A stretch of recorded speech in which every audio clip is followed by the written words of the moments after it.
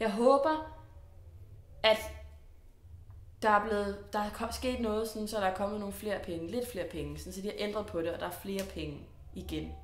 Sådan, så man ikke behøver at sætte billetterne sindssygt højt op, så der er ikke er nogen, men at man måske sætter sætte dem, ja. Jeg håber bare, at der er flere penge igen, og at der bliver mere fokus på det, fordi det er så vigtigt. Hvad hvis vi nu gør det sådan her? Fordi det vil tiltale mig. Der er nogle år til, der kan være tre år, der kan også være fem år til, at jeg er færdiguddannet, og så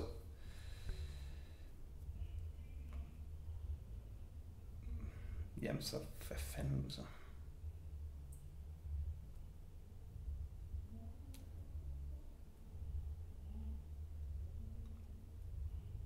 Ja, det er bare stå... Jeg synes, det er lidt... Øh, jeg ved sgu ikke rigtigt, hvad fanden.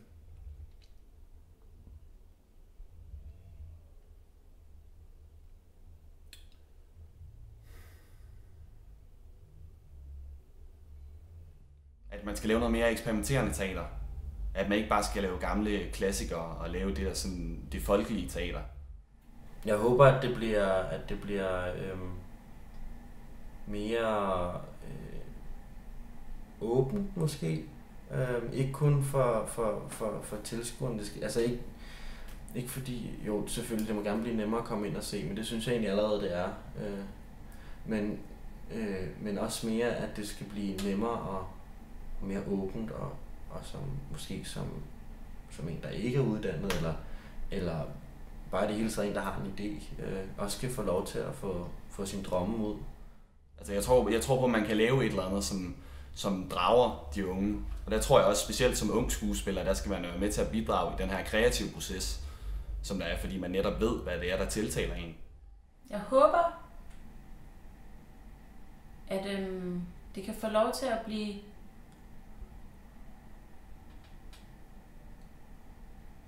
hmm, hvad skal man sige, jeg håber, det kan blive, få lov til at blive lidt mere øh, på en måde inspireret af andre lande, om man så må sige.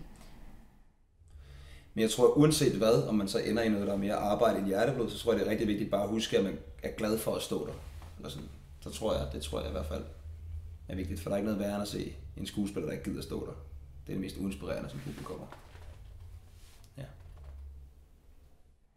Altså, lige nu må jeg indrømme, at jeg nok ikke gør særlig meget, fordi jeg, øh, jeg er i gang med skole og så videre, men øh, øh,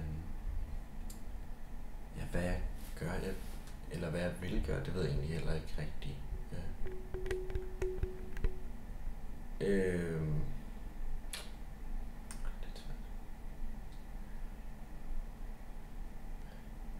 tror bare, jeg gør mit bedste.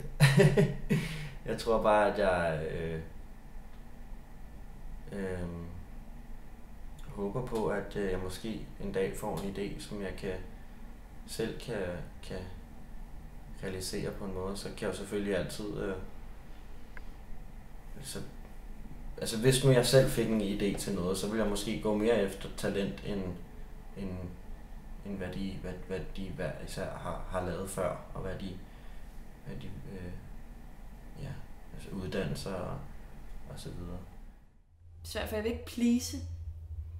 Det vil jeg ikke. Men det bliver man også nødt til, hvis man gerne vil have, at det skal overleve på en eller anden måde. Men det ved jeg ikke, om man gør.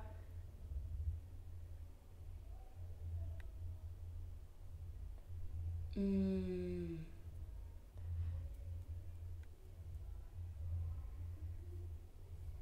Jeg vil i hvert fald ikke sæt Ronja Røverdatter op, eller Skammerens datter. Det vil nok være den første ting i hvert fald. Jeg håber også, at, at det, der kan komme nogle... For, at det kan blive større nogle gange, og det kan blive mindre. Og sådan. Det, jamen det, jeg synes tit, det kører i meget samme spor. Jeg håber, at man kan lave alt muligt forskelligt, og sådan... Jeg har tænkt på sådan, åh, sådan noget græsk, hvor man bare...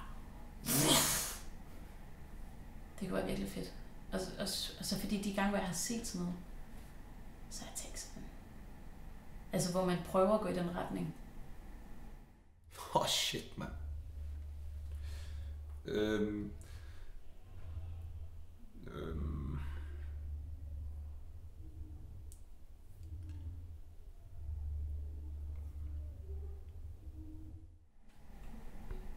Hvad jeg gør.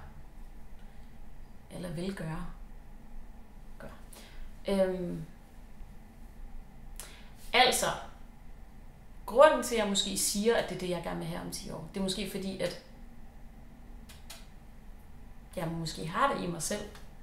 Og, og det, jeg vil gøre, er måske... Det er et svært spørgsmål, føler jeg. Øhm, jamen, det er jo s- at selv gå på scenen med den energi. Altså, jeg tror, jeg hed til har været meget øh, sådan, jamen det, der kan godt lægges lidt låg på det, eller, eller måske prøvet at gøre det. Men måske, altså, jeg tror, jeg har faktisk tænkt meget over, at nej, hvis jeg skal, altså, ej, åh, jeg har tænkt over, at det kunne være fucking fedt, hvis jeg, hvis jeg fik en rolle, hvor jeg fik lov til at og det er jo også det er jo også at gøre det, jeg ønsker, altså om 10 år, at der var mere. Ja, og måske lave nogle styk, stykker selv, hvor det grimme får lidt mere plads. Jeg håber i hvert fald ikke, at det er forsvundet. Det skal blive. Det er så vigtigt. Men der er virkelig mange, der ikke går i teateret mere. Det kunne være nice, hvis der var flere, der gjorde det. Øh, jeg vil starte med at blive øh, smadret dygtig på den skole, jeg går på nu. Øhm, og så vil jeg tage, nu har jeg lavet en del sådan egne projekter i Aarhus. Øhm, ikke så store, men har lært, jeg har lært rigtig meget af det der med at samle folk fra forskellige steder og, og komme med egne idéer og få dem udviklet og få samlet de folk, man har brug for, for at få det til at blive til noget. vil du sige noget? Nej, sorry. Øhm, og så Bare blive ved med at lave teater, tror jeg. Jeg ved ikke, hvad jeg skal sige ellers. Bare blive ved og blive ved og blive ved, og ikke bukke under. Og så lave gadeteater, eller lave noget andet, eller lave min egen trup. Trup, trup, gruppe. Eller et eller andet. Altså, ikke bukke under og blive ved. Og jeg tror, man skal være med ind over nye tekster, og man skal, man skal blande sig. Ja, det tror jeg. Altså, så er det jo...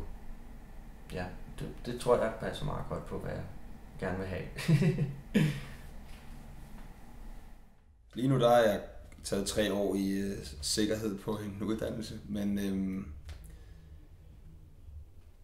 øhm, jeg forsøger i hvert fald altid at, de gange jeg selv har spillet, så husk øh, at komme med al den spilleglæde, jeg, spilleglæde, jeg har i mig.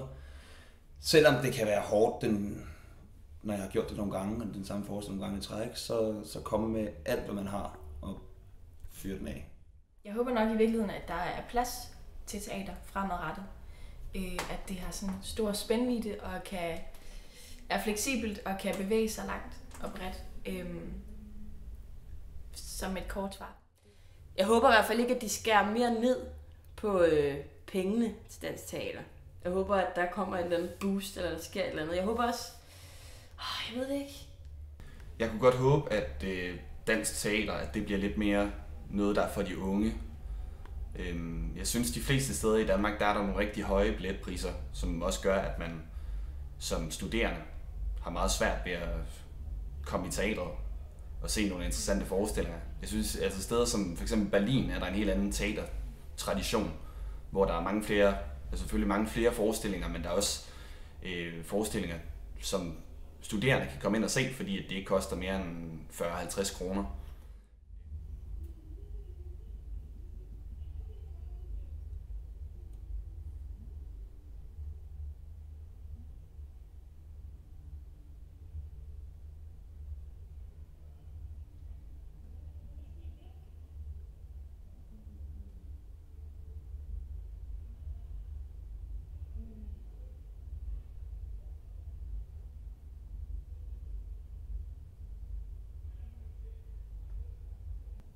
Jeg tror, jeg har fået det vigtigste med, i hvert fald, og det jeg vil sige.